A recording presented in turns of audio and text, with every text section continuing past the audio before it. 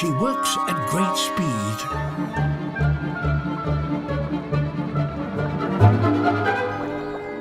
In real time, it's impossible to see what's going on. But slowing things down reveals how marvelously adapted she is to the underwater world. Stiff hairs on her feet act like flippers, and others on her tail turn it into a rudder. She swims with her eyes closed, fanning out her whiskers to help her sense her prey.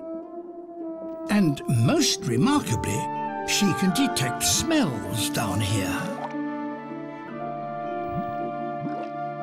She lets out tiny bubbles of air to pick up scent particles in the water. It's known as bubble sniffing.